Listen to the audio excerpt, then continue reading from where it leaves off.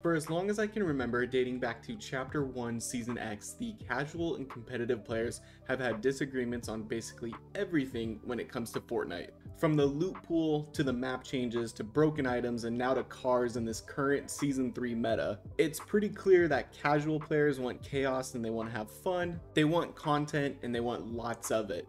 Competitive players want balanced items and they want their skill to matter more than anything else. They want to have fun as well, but in a different way compared to casual players. And I honestly think both sides are right. I truly feel it is up to Epic to make a decision by separating the casual and competitive battle royale experience. For the past week, competitive and casual players have been at each other's throats on social media. Most of the casuals love this season and most of the competitive players hate it. It's never really made sense to me why Epic has never separated the loot pool between the casual lobby experience and the competitive lobby experience, which is why I'm going to state my case on why I'm in defense of both sides of the coin and why I feel Epic needs to make a decision soon. But as always, be sure to like and subscribe if you like this video, and use code TuneSpider in the Fortnite item shop to support me. Now, defending the competitive community. This includes tournament players, competitive content creators, and the top tier pros that have made millions or hundreds of thousands of dollars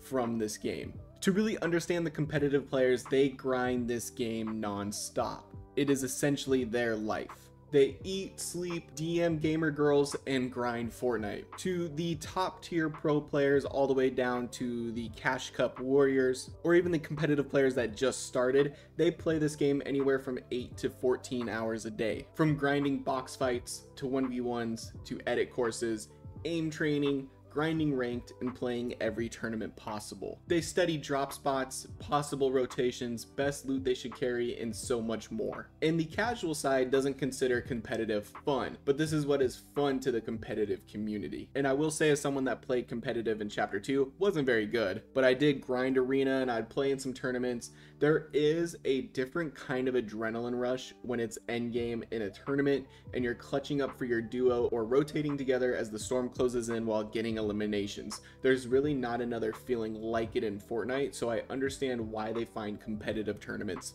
fun. This season, their frustration has been all over Twitter, specifically Clix versus some of the casual community. People have posted videos of Clix's frustration with the season, and of course a lot of the casual community has responded to that with telling him that he needs to adapt, that he needs to stop crying. They're pointing out every single thing that he does wrong. And this is no shade to like anybody, everybody has their own opinion. Of course, it's Twitter, so everybody's gonna call out everybody. That's just kind of how Twitter works. But telling them to adapt to a meta like this season is kind of interesting because all of it is really car based. And a lot of us casuals play zero build. Our world is completely different compared to the competitive world. But I'm not going to touch too much on the Twitter drama. There's just been a lot of it where it feels like this is like Fortnite's civil war now. The casual and competitive community have never really liked each other, but it's just gotten worse and worse over time. And for the competitive community, they're definitely frustrated because of how much time they put into this game, and it doesn't feel rewarded when they die to a car with a turret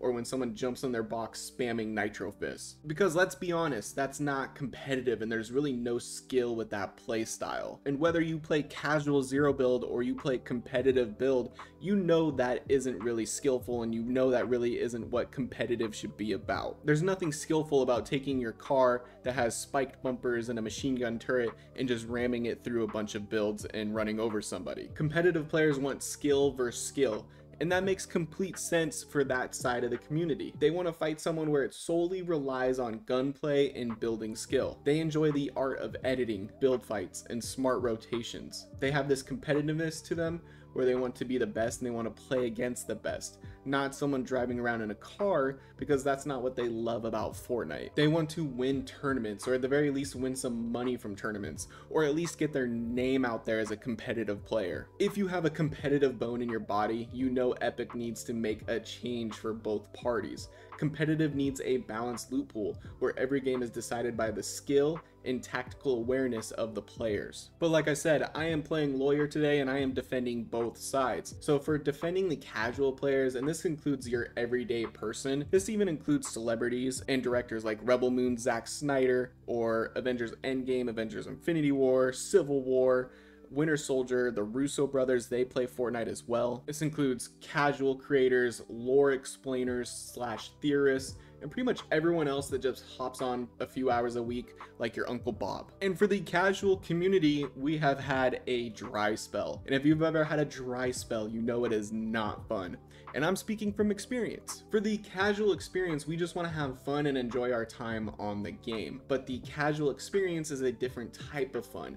We enjoy the wackiness and randomness that Fortnite provides with new seasons and new updates. But we really haven't had that feeling in a long time. Sure, we've had new items with new seasons, but we haven't really had any content that has completely changed up the game like we have with cars this season. It has created absolute chaos this season, and for a lot of people it has been a lot of fun so far. The casual community embraces this chaos and doesn't take itself too seriously, and that is a huge difference between the competitive and casual community. And the casual community feels that Epic will cater to the competitive community whenever they cry on Twitter or social media, which was proven right a couple days ago. I was making this video and I saw that Epic had tweeted some nerfs they made to the vehicles in Nitro Fist while also adding boogie bombs. Now these aren't huge nerfs that will ruin the cars or fists, but these balance changes do come off as catering to the competitive community. But even with those changes, the casual community is still going to find a way to have fun, unless you're Ninja. I have seen so many tweets and YouTube videos from the casual community about how much they're loving this season, and I agree with pretty much all of it. I consider myself more of a casual player with some competitiveness in me.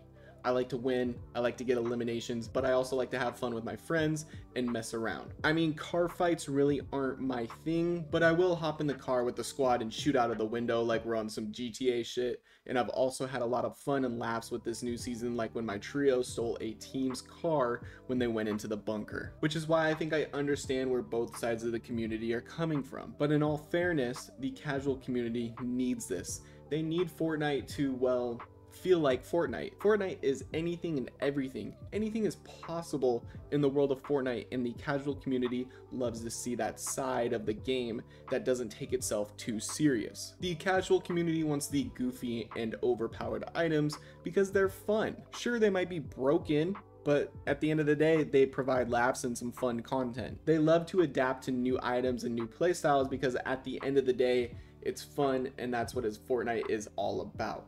It's an ever-changing live service game. So the solution. So after defending both the casual community and competitive community, it is pretty clear that these two sides will probably never get along. The competitive community has a tendency to feel that they're better than the casual community, but what both communities don't realize is they need each other. This game does have a great esport aspect to it, so we need a competitive side in Fortnite, but we also need that fun, goofy, ever-changing, casual side to the community as well. I do believe the world would look like this though if the casual and competitive community ever got along. As I mentioned earlier, I understand both sides of the argument, so there really is only one solution in my opinion, separate loot pools. And this has been talked about for years, but I feel like with this season, it really shows that Epic needs to make a change for both the casual and competitive community. The competitive community needs basic loot, so their tournament play is completely dictated by their skill and decision making. The casual community needs, well, anything and everything. They embrace the chaos, but at the end of the day, we can all agree we love this game